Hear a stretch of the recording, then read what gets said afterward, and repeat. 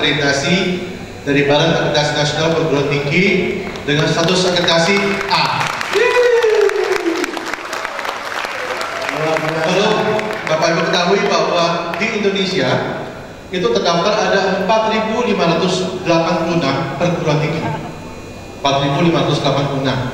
Jumlah itu lebih besar daripada jumlah perguruan tinggi di negeri China yang hanya sekitar 3 ribuan. Di mana jumlah penduduk mereka adalah hampir 4 kali lipat dari penduduk kita. Dari 4.586 itu yang sudah terakreditasi ya itu adalah 1.623 perguruan tinggi. 1623 dengan berbagai macam range ada yang A, ada yang B, ada yang C. 1623 dari 1623 yang punya peringkat akreditasi A baik itu adalah perguruan tinggi negeri ataupun swasta di Indonesia sampai saat ini adalah 71 perguruan tinggi di seluruh Indonesia yang berakreditasi A dan USI adalah di peringkat yang ke-71 Dari 71 itu ada 30 perguruan tinggi swasta dan usia adalah yang ke-30. Untuk universitas yang diukur dari usianya mendapatkan akreditasi A dari usia mendapatkannya UC adalah universitas yang keempat termuda di Indonesia yang memperoleh akreditasi A di Indonesia dan untuk wilayah Jawa Timur UC adalah universitas termuda yang pertama yang mendapat akreditasi A. Bapak Ibu, mengapa saya harus menyampaikan data-data data ini? Ini kami sampaikan bahwa sebagai wujud apresiasi kami bahwa kalau hari ini UC bisa mendapat akreditasi tersebut tidak terlepas dari peran dan kepercayaan dari publik dan terbesar adalah dari orang tua mahasiswa yang sudah memutus yang mempercayakan anak-anaknya untuk dididik di UC. Kami terus mengharapkan masukan dari Bapak Ibu karena setiap masukan adalah bentuk perhatian, bentuk sayang terhadap USI sehingga karena itu dengan masukan tersebut dengan partisipasi seperti Bapak Ibu hari ini hadir itu merupakan masukan bagi kami sangat berharga untuk terus kami tingkatkan kualitas pendidikan bagi mahasiswa kita. Karena di USI tentunya diukur selain pendidikan juga ada penelitian dan pengabdian masyarakat. Hari ini kita berbicara tentang pengajaran pendidikan.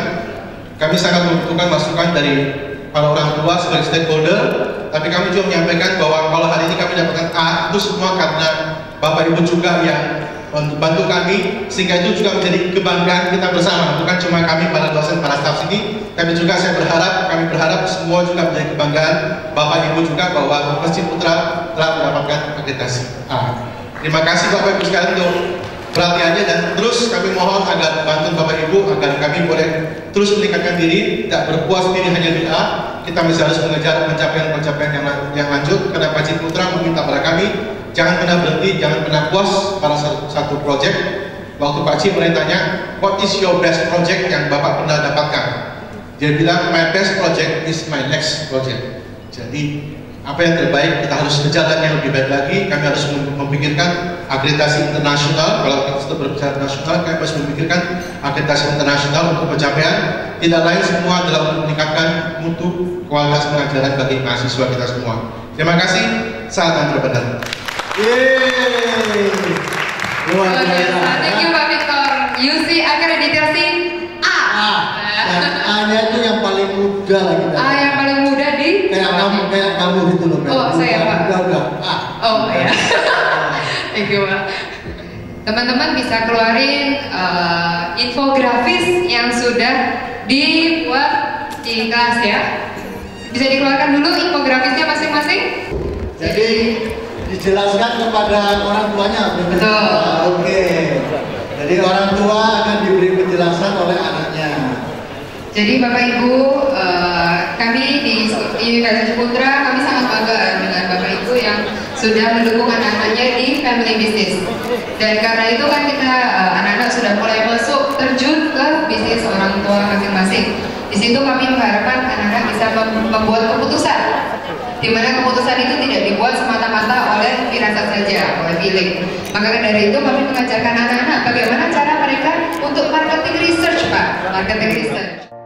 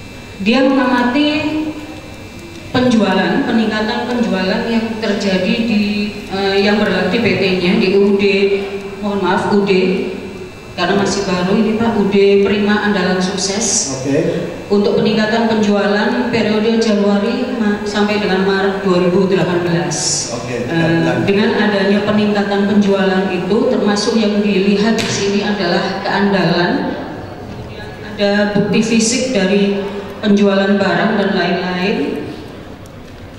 Kemudian ada daya tanggap, jaminan, kemudian perhatian, harga termasuk kepuasan pelanggan. Oke. Ini yang di yang dilakukan customer insight-nya oleh anak saya.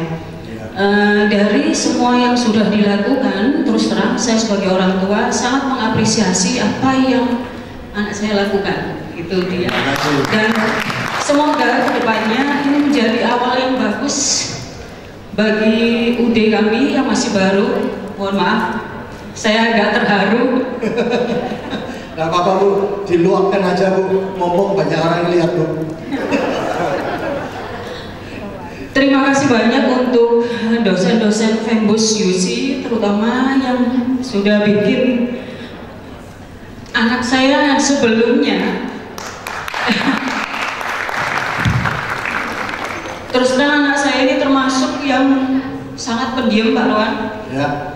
tidak pernah mengungkapkan apa yang dia miliki.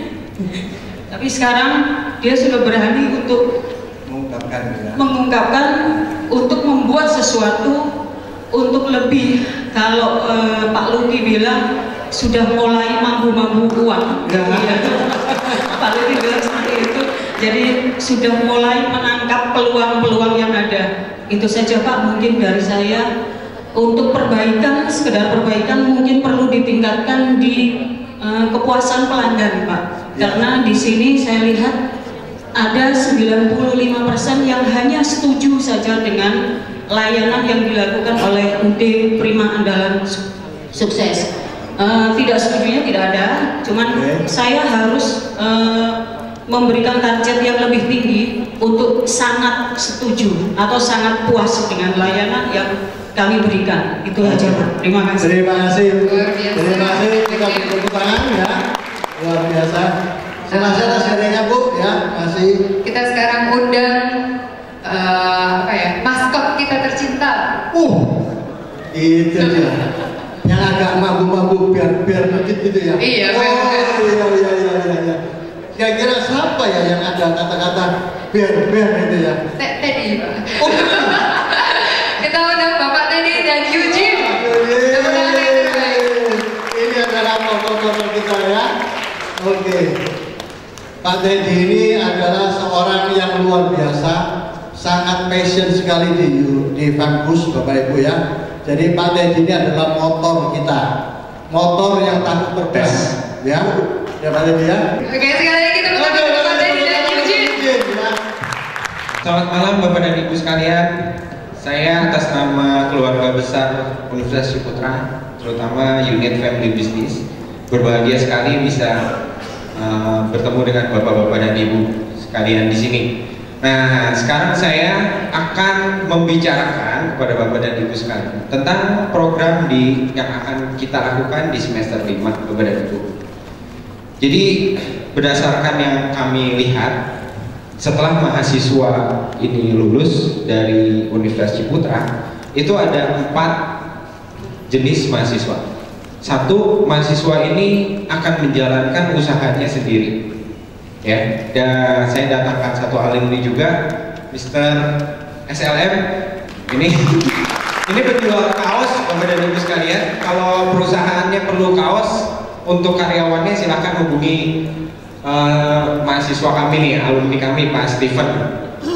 Kedua, mereka ini langsung berkontribusi ke perusahaan keluarganya. Jadi satu ada yang eh, dia memutuskan untuk saya usaha sendiri aja. deh. Ada ini Pak eh, si SLM nih, namanya SLM Steven, alumni kita juga. Kedua ada yang langsung berkontribusi di perusahaan keluarganya. Ya ini di belakang saya izin. Ketiga ada yang sekolah lagi Bapak dan Ibu untuk mengambil eh, jenjang pendidikan yang lebih tinggi. Terus yang keempat ada yang bekerja dulu ikut perusahaan eh, orang lain. Ada jenis ada empat jenis alumni yang eh, nanti akan menjadi anak-anak kita di sini semua. Gitu. Universitas Ciputra itu pada dasarnya menghargai keempat-empatnya. Kami support keempat-empatnya. Tetapi di universitas kita ini, universitas kita tercinta ini, tagline-nya entrepreneurship. Kami berkomitmen, sangat berkomitmen. Bapak dan Ibu boleh cari di universitas lain, nggak ada yang kayak begini kuliahnya. Kami sangat berkomitmen menjadikan mahasiswa kami sebagai seorang usaha setelah mereka lulus dari uh, kampus kita ini. Itu komitmen kami. Semua cara kami mendidik mahasiswa berbeda dari yang lain untuk menjadikan mereka seorang pengusaha. Begitu. Nah, Bapak dan Ibu sekalian, ketika kita ingin menjadikan anak-anak ini, anak-anak eh, yang Ibu Bapak dan Ibu titipkan kepada saya, saya pahami mereka, mereka membutuhkan tiga elemen saat ini. Pertama, mereka membutuhkan mentor Bapak dan Ibu. Mentor ini yang mampu mengarahkan mereka ketika mereka eh, terjebak dalam beberapa pilihan mereka harus berbuat apa? Mereka butuh mentor. Kedua, mereka butuh coach. Coach ini yang menggali potensi diri mereka. Ke- Ketiga, mereka butuh cheerleader, Bapak dan Ibu sekalian. Nah, biarkan coach dan cheerleadernya bagian saya aja. Cheerleader ini adalah orang yang ketika mereka berkeluh kesah, saya akan memberikan mereka apresiasi. Ayo jalan lagi, ayo jalan lagi, ayo jalan lagi. Coach, saya akan bertanya kepada mereka, sudah sampai mana tugas kamu? Sudah sampai mana? Apa yang kamu kerjain? Nah, Bapak dan Ibu sekalian, bisa nggak di semester 5 nanti Bapak dan Ibu mengambil peranan mentor untuk anak-anak? Apa sih tugas mentor? Ketika mereka bertanya, saya mohon dan saya yakin Bapak dan Ibu juga akan melakukannya untuk menjawab pertanyaan-pertanyaan mereka. Begitu. Nah, Bapak dan Ibu sekalian, saya mau tanya kepada Pak SLM dulu nih. Ini alumni nyata benar dan baru Udah lulus kapan sih? Setahun ya? Oktober. M, aku mau tanya nih, apa yang paling kamu rasakan ketika kamu lulus dari Universitas Ciputra yang pertama kali kamu rasakan? Eh, bahwa ternyata dunia kuliah itu sangat nikmat dibanding dengan dunia nyata. Ya, nikmatnya gimana? lebih santai, lebih tenang, nggak ada beban. Sementara kalau dunia kerja penuh dengan beban. Penuh dengan beban. Bebannya gimana? Karena terlalu usaha saya kan konveksi, Ya, jualan seragam jualan ya. seragam untuk perusahaan, untuk event dan selain sebagainya. Sehingga tiap bulan kita harus mencari orderan terus menerus. Jadi pembeli selalu baru. Ketika nggak ada pembeli baru, maka nggak ada pemasukan. Di situlah saya stres. Ada dukungan bapak dan ibu kan nih, siapa tahu. Eh kasih kesempatan promosi nih buruan. Nggak? Ada beberapa yang. Oh udah. Oh ya, tadi SLM bilang ke saya terima kasih untuk bapak dan ibu yang sudah menggunakan jasanya SLM. Kayaknya udah banyak juga. Terima kasih. Satu hal yang saya sering bicara dengan para alumni ketika mereka lulus, mereka ini merasakan satu dunia yang baru bapak dan ibu sekalian. Mereka mulai bilang, ih di kampus mah dulu gampang banget sih ini ngerjain project kayak gini-gini. Begitu mereka melangkah di dunia asli, mereka gelagapan dan kaget. Karena mereka harus mengejar setoran. Kadang-kadang ada orang tuanya yang ya udah lu hidup dari situ dong, lu kan udah lulus. Nah ini contohnya Pak SLM ini. SLM ini bukan eh, dia punya perusahaan keluarga. Perusahaan keluarganya apa? Perusahaan keluarga saya namanya Setia Jaya. Dia bergerak di bidang mebel, furniture, spring bed. Itu fanbase saya. Dan cukup besar ya di Surabaya bukan cukup besar, cukup kuno ya. Udah lama gitu kan? Kuno. Lama. Nah, ini menarik dari eh, SLM ini orang tuanya tidak memberikan space, tidak memberikan eh, ruang untuk di perusahaannya, tetapi malah di challenge. Kamu mau join di perusahaan mama? Coba buktiin dulu. Tapi SLM nggak tahu. Sebenarnya orang tuanya di belakang sangat membackup dia. Contoh, dikasih kantor dari mana tuh duit siapa? Yang paling kelihatan memacar saya itu setiap bulan saya selalu tanya rekening saya ada berapa. setiap bulan. Hmm. Kemudian pada dasarnya mereka itu takut saya gagal. Hmm. Sehingga ketika, ketika saya mau melangkah pasti dihalang-halangi. Terus saya kembali tanya, solusinya apa? Mereka nggak bisa jawab. Oh, terus gimana? Akhirnya saya, eh, tapi mereka mau support saya dari segi relasi, mereka support. Terus kemudian dari tempat, mereka juga support untuk produksi. Pada dasarnya semua orang tua itu sayang pada kita. Cuma kadang kita sebagai mahasiswa atau sebagai anak itu susah untuk melihat kasih sayang tersebut. Ya, thank you. Terima kasih Pak Steven. Pak, ngomongnya sekarang ya. Bapak dan Ibu, Pak Ciputra itu memberikan kami arahan bahwa ada sebenarnya ada tujuh sikap dari seorang entrepreneur yang kami harus ajarkan anak-anak. Di semester 5, temanya adalah persistence. Persistence. Persistence bahasa Indonesianya adalah eh, bahasa Sundanya sih kekeh ya. Bahasa Jawanya apa tuh? Ngotot. Ngotot si anak ini akan di-challenge oleh kami untuk menetapkan satu proyek usaha, tetapi mereka tidak boleh berhenti di tengah jalan.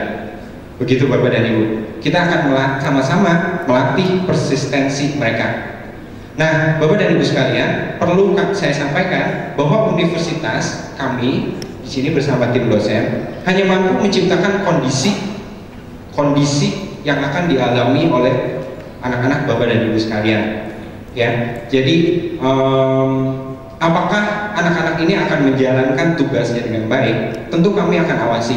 Karena kebetulan saat ini bukan kebetulan kami memiliki kuasa nih kami memiliki sebuah bolpen antara biru sama merah nilainya A, B, C, D kalau misalkan nilai D itu berarti anak-anak harus mengulangi lagi kuliah yang sama alias tidak lulus Nah, ini tugas utama mereka untuk bisa melewati semester 5 ini sederhana sekali. Kami tidak memperhitungkan apakah si mahasiswa gagal atau berhasil. Saya yakin bapak-bapak dan ibu-ibu juga bukan masalah gagal atau berhasilnya, tetapi anak-anak ini akan di-challenge untuk melaksanakan tantangannya terus menerus. Misalkan ada kesulitan, mereka boleh ber- bertanya kepada orang tuanya, Pak, saya ngalamin ini nih, bagaimana nih? Tentu orang tua harus menjawab. tetapi akan menjadi pelanggaran yang besar dikala mereka di dalam setengah semester mereka menyerah di situ. Itu yang akan terjadi di semester 5. Selama semester 5 mereka akan menjalankan dua proyek usaha. Kembali lagi saya jelaskan Bapak dan Ibu sekalian, di Universitas Ciputra kita belajar dari proyek usaha. Itu yang akan menjadi intinya. Atau dengan kata lain uh, learning by project. Ya, Pak Luki ya. Apa learning by project? Jangan takut ada beberapa orang tua yang suka bilang sama saya, Pak, ini anaknya tiap hari cari duit terus, kapan belajarnya? Nanti nilainya jelek. Loh enggak Bapak dan Ibu sekalian, itu yang kami nilai justru. Ketika mereka menjalankan usaha, itu yang kami nilai. Mereka akan menjalankan dua proyek. Satu proyek adalah proyek bersama sekelas, satu kelas ini yang nanti akan dipimpin oleh empat mahasiswa yang kami sudah pilih. Mereka akan menjalankan satu perusahaan yang dinamakan perusahaan FB7. Mereka akan mencari uang di situ dengan proyek-proyek yang nanti akan dijelaskan oleh mahasiswa apa aja proyek-proyeknya. Di proyek ini saya minta tolong lagi ya Bapak dan Ibu untuk mendukung proyek anak-anak ini. Dukungannya bagaimana sih Bapak dan Ibu? Misalkan Bapak mereka menjual apa aja sih? Saya lupa mereka jual apa aja. Misalkan mereka menjual sesuatu, terus Bapak Ibu punya pasarnya nih. Tolong kasih ke mereka, kasih ke ketuanya. Eh, saya tahu nih, si ini beli, lu jual aja ke dia. Nah, kayak gitu boleh Bapak dan Ibu sekalian. Atau Bapak punya produk, Nah ini boleh dihubungin ke mahasiswa. Bisa nggak lu jualin ini coba nih? Tapi kasih harga spesial ya. Nah ini uang yang akan terkumpul akan mereka gunakan untuk penutupan acara FB uh, program Family Business ini di bulan Oktober nanti. Begitu Bapak dan Ibu sekalian. Proyek yang kedua setelah proyek usaha bersama adalah proyek keterlibatan di dalam perusahaan keluarga. Begitu. Mereka harus memberikan kontribusi kepada perusahaan keluarganya. Mereka diwajibkan untuk itu.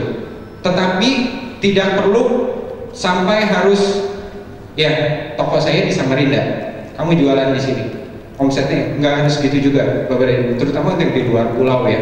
Harus ada jalan keluarnya. Bagaimana si anak ini bisa berkontribusi di perusahaan keluarga Bapak dan Ibu. Silahkan Bapak dan Ibu challenge anak-anak nanti anak-anak akan menyampaikan kepada saya orang tua nantang saya untuk melakukan ini pak dan itu yang akan jadi standar penilaian uh, kami di selama di semester 5 begitu Bapak dan Ibu untuk menjalani semester 5 ini yang akan kita lalui bersama-sama. Terakhir ya Jen ini alumni nomor 2 yaitu uh, Eugene.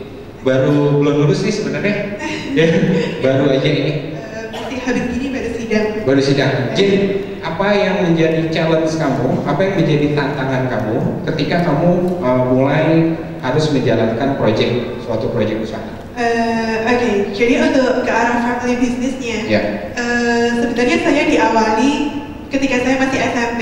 Jadi ketika saya masih SMP, saya diperkenalkan oleh uh, saya kalau manggil papa saya itu Dedi. Jadi mungkin uh, sepanjang cerita ini saya akan memanggilnya Dedi. Jadi ketika waktu SMP itu uh, saya mulai diperkenalkan dad untuk uh, family business. Jadi dengan cara apa? Jadi papa saya itu adalah tour leader. Uh, kita punya perusahaan keluarga namanya Kirana Tour dan bapak saya sebagai tour leadernya.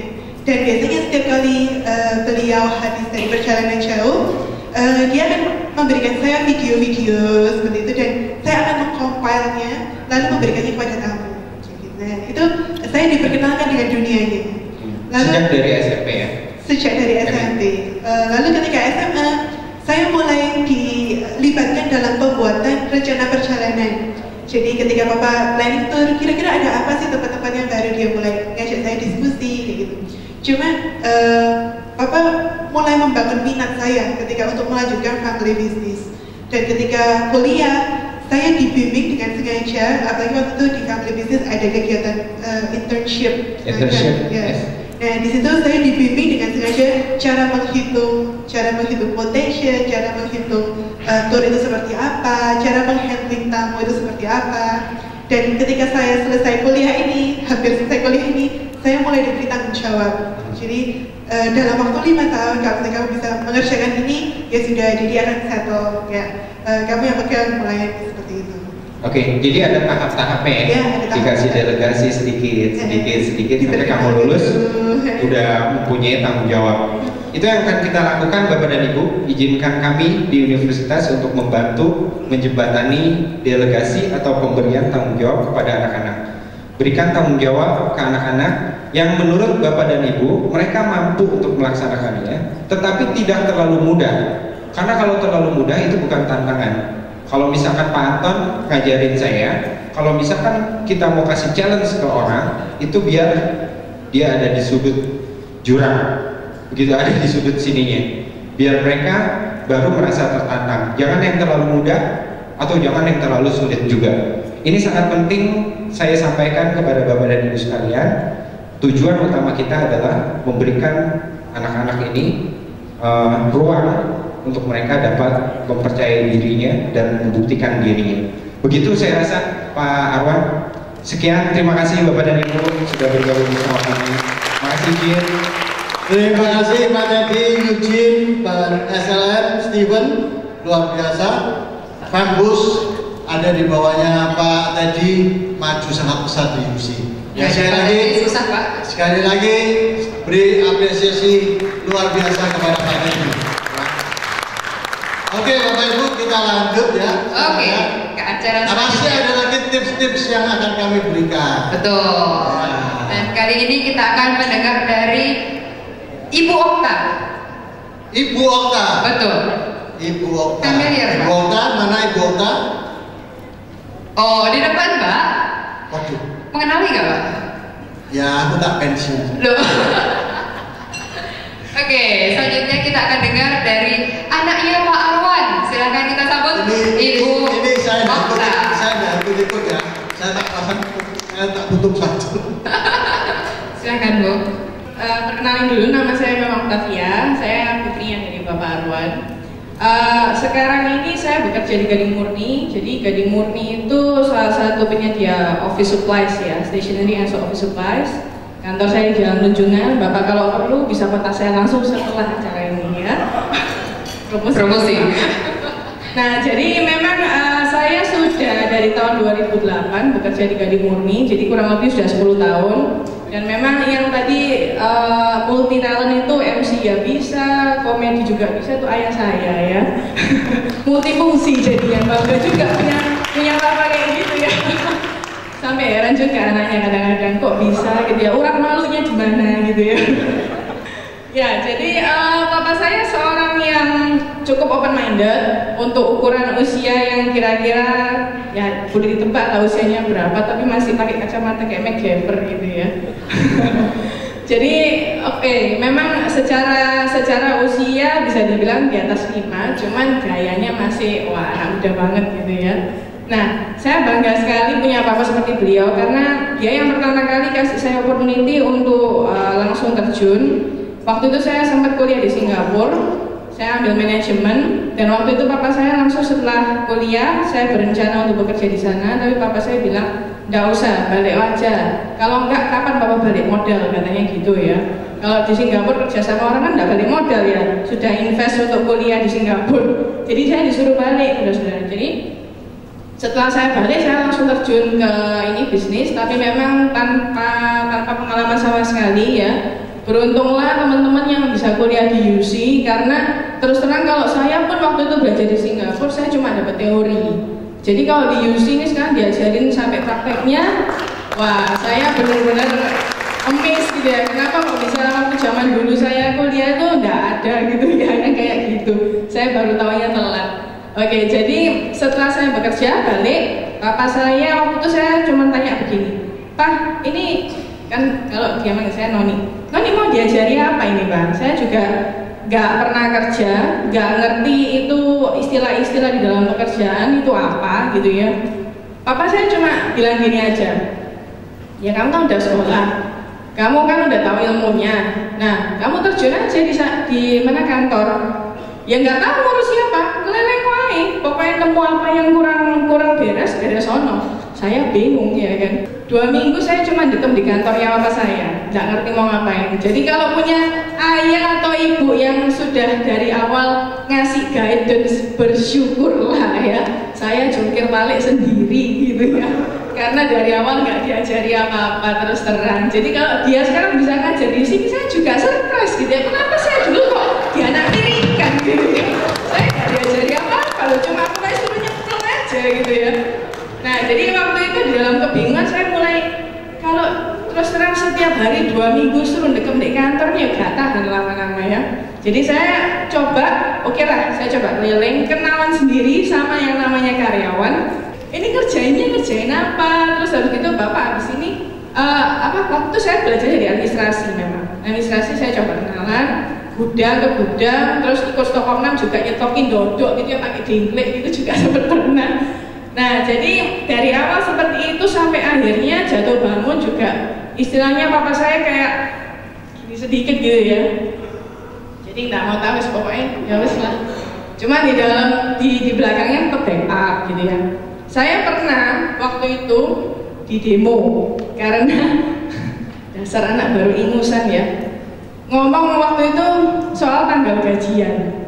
Tanggal gajian di tempat saya itu enak. Tanggal 27 28 sudah dapat gaji saya cuma mikir oh iya apa kan tanggal 30 ya mundur naik 30 saya demo satu perusahaan. Beneran. Itu karena sok taunya anak muda waktu itu ya. Jadi apa ya istilahnya itu jangan jangan semerta-merta habis dari lulus oh tahunya idealnya seperti ini langsung main beng beng beng beng beng ya itu. Begitu di demo saya cuma bisa nangis gitu ya. Saya cuma bilang pak tolong. Nah bapak saya backup langsung oke dikumpulin semua dan lain sebagainya singkat cerita akhirnya sudah selesai demikian pula yang saya bilang lagi bapak saya itu seorang risk taker kenapa kok risk taker uh, awal saya bekerja, saya bayangin langsung dikasih posisi general manager. Anak ingusan, ya kan, nggak ngerti apa-apa. Bahkan yang namanya mungkin kalau secara administrasi, delivery order SODO nggak ngerti, langsung general manager. Nah, bagi saya, ya saya merasa bahwa wah itu satu sisi thank you pak, kok sudah dikasih posisi langsung di atas, gak usah soro-soro ya kan. Di satu sisi ini sampai gak bener mati aku izin lah kan gitu ya. Nah jadi setelah papa saya ngomong kayak gitu bener-bener memang dikasih kebebasan wis. Nggak tahu mau ngapain dan tidak diajari sama sekali. Sampai suatu saat pun saya pernah waktu itu kena uh, saya waktu itu invest jadi setelah saya mengerti seluk beluknya perusahaan dan lain sebagainya saya merasa dari sisi apa bisnis prosesnya dan softwarenya dan lain sebagainya itu menurut saya kok kurang pantas untuk perusahaan skala lumayan gede seperti ini gitu ya. Nah, dan saya coba untuk istilahnya uh, ganti program, ganti software yang ternyata investasinya cukup besar, ratusan juta. Dan ternyata waktu setelah saya build selama satu tahun, saya minta untuk karyawan saya ceritanya ikut training dan lain sebagainya. Ternyata di tahun waktu kita launching gagal total. Jadi saya buang duit waktu itu sekitar kurang lebih 300 juta. Dan itu bapak saya cuman ya sudah. Tapi ayah saya masih bisa terasa sama saya gitu ya. Saya nggak dimarahin pun enggak, dicaci maki juga enggak. Tapi saya sendiri yang pecut diri saya sendiri gitu ya. Sempat waktu itu saya tak keluar aja wes. Kok rasanya gila ini buang duit segini. Terus juga papa saya nggak nggak kenapa-kenapa. Saya yang malah malu dan rasanya gimana.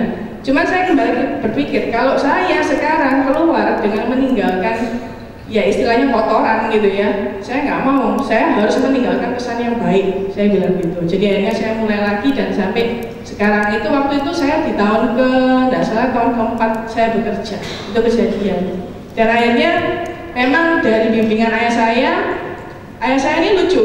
Jadi kalau sudah mulai kalah ngomong jurusnya cuma apa? Dulu apa itu gini. Nah itu jeleknya. Ya jadi ngomongnya gitu. Pak ini kan sekarang tidak bener Pak. Harusnya sistemnya tuh begini begini begini. Marketingnya caranya begini. Bangun brand seperti ini. Papa bayang ini brand-brand sekian banyak masa brand kita nggak ada yang istilahnya at the top gitu ya Nah, papa cuma cuma bilang gini, kalau sudah kalau, kalau ngomong sama saya, ya dulu papa tuh gini mulai cerita, gini, gini, gini, gini. Saya cuma bilang, Pak itu dulu Pak, sekarang itu namanya namanya orang kerja kan sudah ada teknologi. Papa dulu lewat ngirim ngirim surat gitu ya, mungkin baru kapan lagi nyampe. Sekarang ini orang sudah bisa langsung delegasi pakai handphone. Satu hari mungkin bisa langsung apa delegate ke berapa orang gitu kan ya. Kalau dari papa saya, dia cukup open minded dengan adanya teknologi, dengan adanya apa bisnis-bisnis anak muda, meskipun dia tidak ngerti juga dia berusaha memahami gitu ya. Jadi memang kayak tadi itu saya dikasih trust yang sedemikian besar, akhirnya bapak saya juga istilahnya ya sudahlah mau diapain memang itu uang buat belajar. Dan memang dia juga cukup oke okay dengan adanya hal itu dan keep support dari belakang. Meskipun mungkin di depan ya gimana cuman dari belakang dia tetap support. Dan sampai sekarang saya bersyukur ayah saya ini istilahnya apa ya? Kalau misalnya orang tua itu bilangnya halah paling anak ngerti apa? Tapi kalau ayah saya nggak pernah kayak gitu. Ayah saya selalu ya wes kamu punya ide apa lagi? Apa yang kira-kira kamu jadi itu yang membuat saya bisa terus maju dan bisa sampai seperti sekarang saya bisa ngerti banyak hal karena bapak saya jadi thank you ya pak ya. Tepuk tangan yang meriah untuk Ibu Ini kenapa saya membiarkan dia pada waktu itu saya lepas saja begitu. Satu, karena dia sudah pendidikan cukup tinggi, ya, dan dia sudah lulus dengan lulus terbaik pada waktu itu di Singapura, ya. Dan saya merasa bahwa saya mau coba sih lulusan terbaik itu gimana sih? Tak mau saya buktikan sebetulnya, ya. Jadi saya challenge ya, saya bilang gitu. Dan menurut saya, kenapa saya tidak melakukan itu memberi bimbingan? Kalau saya memberi bimbingan terlalu banyak, anak ini tidak akan berkembang. Kenapa tidak berkembang? Karena dia selalu menurut apa yang saya suruh, dan ini bahaya. Sedangkan saya menginginkan di perusahaan itu ada perubahan, ada sesuatu yang baru. Kalau saya menuruti kata-kata saya dan dia harus mengikuti kata-kata saya terus, lama-lama dia nggak tahan, nggak akan kerja di tempat saya.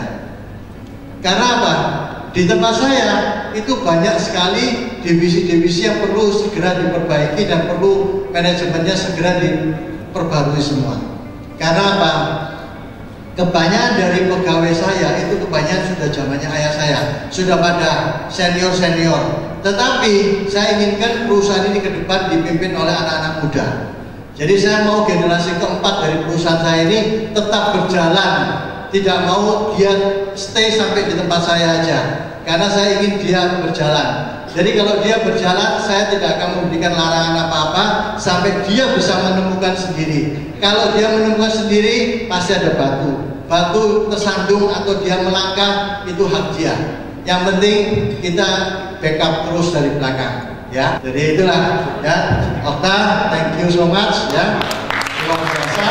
Dan saya bangga juga kalau dia bisa ikut berpartisipasi ini urusan bapaknya anaknya mensupport ya kan bapaknya bonus ya bapaknya minta tolong anaknya datang ya kan nah, kan enak ya. Jadi istilahnya dia tahu bahwa apa yang bapaknya lakukan. Kenapa saya dulu tidak pernah ngajarin dia?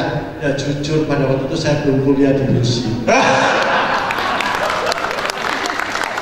Oke Bapak Ibu, karena waktunya sudah habis. Tunggu sebentar Pak, uh, tunggu sebentar. Coba uh, Bapak dan Ibu sekalian, kita ambil beberapa kata kunci dari apa yang sudah disampaikan Bu Okta ini. Silakan. Satu, trust. Bapak dan Ibu harus memberikan Kepercayaan. kepercayaan kepada. Demikian juga anak-anak, anak-anak juga harus punya kepercayaan kepada Bapak dan Ibunya. Kedua, biaya belajar Bapak-bapak dan Ibu-ibu sekalian, belum pernah ada anak yang langsung berhasil ya. Biarkan mereka uh, kasih space mereka untuk gagal Bapak-bapak dan Ibu-ibu sekalian. Ketiga, tren terbaru. Anak-anak UC terlepas dari mereka ngomong-ngomong apa tentang UC di rumahnya, tetapi kami didik sangat keras Bapak-bapak dan Ibu-ibu sekalian. Sangat-sangat keras sekali. Mereka ini mesin entrepreneurship yang baik, mereka mengerti tentang tren-tren terbaru dan sebagainya. Kita hanya perlu memberikan mereka space untuk membuktikan dirinya. Nah, yang keempat, uh, Pak, boleh nggak ininya dihilangkan? Kata dulu Papa begini, dulu Papa. Actually itu semua mahasiswa tidak menyukai kata-kata itu bapak-bapak dan ibu-ibu dan mereka selalu ngomongnya sama saya. Ya, jadi anak-anak perhatikan murid-murid sekalian, kata-kata yang kurang-kurang bermanfaat, kata-kata yang negatif jangan sampai keluar Hmm. kalau kalian berhadapan dengan orang tua. Karena itu apa? Tidak akan membuat solusi, tapi akan membuat ayah tambah mangkel. Ya, apa sudah kerja pulang balik sudah banting tulang masih dicacati terus sama anaknya. Nah itu intinya kita sebagai ayah pun juga punya perasaan. Ya, tapi sayang ayah kepada anak luar biasa. Bapak-bapak dan ibu-ibu sekalian, tolong challenge mereka dari sesuatu yang sangat-sangat di bawah gitu Bapak dan Ibu. Saya sih punya ide bagaimana kalau men-challenge mereka dari sisi penjualan aja. Bukannya saya saya dosen keuangan, tetapi ketika kita challenge anak-anak untuk merapikan gudang, merapikan data-data administrasi, ketika mereka berhasil melakukan itu, mereka cenderung enggak tidak terlalu bangga terhadap dirinya. Tetapi kalau bapak dan ibu challenge, coba lu jual segini. Ketika mereka berhasil, kepercayaan diri mereka meningkat drastis dan mereka memerlukan itu. Tolong challenge mereka dari sesuatu yang benar-benar dari bawah. Jangan langsung dikasih posisi yang berat gitu ya. Dan apa? Enak. Ya, itu eh, lima kata kuncinya yang tadi Ibu Okta dan Pak Arwan sampaikan. Semoga bisa menjadi bekal buat Bapak dan Ibu-ibu dalam mencalon anak-anak di semester 5. Silakan Pak Bella. Iya, tepuk tangan yang meriah dulu Oke, terima kasih. Okta dan Pak Arwan. Sebentar ya, Pak Bu. Kita ada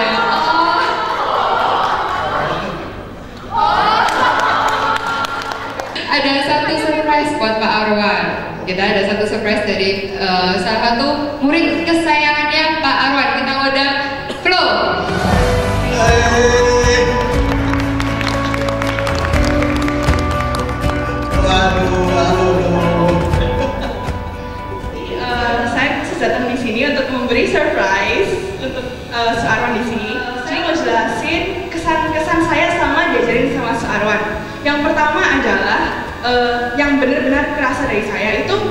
Suarwan itu eh, dia adalah pemilik gading murni. He doesn't need the. Kenapa kok dia mau ngajar di Universitas Ciputra, ngajar mahasiswa? Berarti itu adalah sebuah value dari Soarwan sendiri yang saya benar-benar rasakan sama diajar oleh Soarwan. Jadi dia eh, sering kali waktu di kelas tiba-tiba dia keluar karena ada eh, urusan pekerjaan antara ada eh, karyawan yang bermasalah atau apa. Jadi bisa dibayangin benar-benar Soarwan ini memberikan waktu untuk eh, dia mendedikasikan dirinya dan ilmunya untuk sharing ke mahasiswa itu yang benar-benar saya rasakan. Jadi waktu itu saya pertama eh, kenal sama seorang itu di E4 dan itu merupakan sebuah kesempatan emas buat saya. So itu one of the best things that ever happened to me waktu uh, saya kuliah di UC. Waktu itu kenapa kok bisa mentornya Suarwan? Waktu itu Pak Teddy yang pilih secara random. Terus saya langsung masuk ke Suarwan. Terus eh, kedua juga eh, kesan yang saya ingin sharingkan yang saya belajar dari UC, khususnya dari Suarwan adalah tidak pernah gengsi untuk selling. Eh, jadi gini, eh, background saya waktu eh, kayak sekolah di sekolah yang ya cukup menengah ke atas. Di mana di saya saya berada di lingkungan teman-teman yang ya mereka mapan sekali gitu loh. Saya biasa aja sih. Cuma mereka mapan mapan dan itu build the culture. Nah waktu saya diajarin sama Soarwan, Soarwan ini orang yang di atas sana, tapi dia itu malah ajarin saya tuh jangan nggak nggak boleh gengsi harus jualan. Nah produk saya tuh eh, brand saya adalah juragan sego. Gimana saya jual makanan? Soalnya itu loh bisa kasih saran saya. Waktu itu saya ingat banget kamu coba gitu loh pakai sewa sewa mobil berapa mobil kamu jualan di pinggir sana. Which means seorang ini posisinya di atas itu loh tapi dia nggak pernah gengsi untuk just go below and just sell karena selling itu adalah dasar dari kesuksesan untuk bisa berbisnis itu sih Su, thank you ya waktu itu hari itu kayak mengenang banget buat saya So it's very beautiful for me. Uh, doa saya dan semoga seorang sehat selalu, terus bahagia supaya uh, bisa membimbing saya seterusnya. dan juga ya saya yakin pasti sukses ke depannya. Jadi seorang harus bisa melihat anaknya sukses. Jadi kalau Ciopta kayak biological daughter, saya merasa saya unbiological daughternya seorang. Thank you. Luar biasa. Thank you Flo. Tepuk tangan untuk Flo. Silahkan Bu Okta. Waduh, hari ini saya kenapa ya? Saya sendiri sebagai